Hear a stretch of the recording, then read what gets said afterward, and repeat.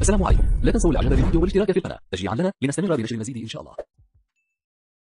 معلمنا أبو علي بدنا شو بتنصح شو نصيحتك لاخواننا المربين؟ إيه، نصيحتي الشام. المربين يحافظوا على على السوداني وعلى البذرة الأساسية الأصلية.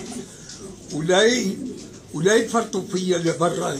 دائما دائما تكون عندهم أساسية ولا يفرطوا فيها ولا ولا ينغروا الواحد ينغرب بالمال عرفت شلون؟ ويضل محافظ على البذره الأساسية لأنه هي مثل صحيح حمام بس مثل التراث القديم. نعم. أنا هيك بنصح لكل لكل المربين بهال بهالسوسة. الحمام سواء كان أبناء أو من جميع من جميع ال- الطيور.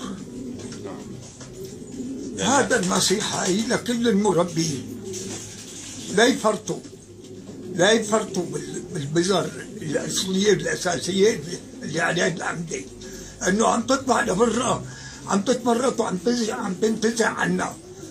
ما عم يضل عنا الجمال الحلو عم يفرطوا عم ينغروا بالماء.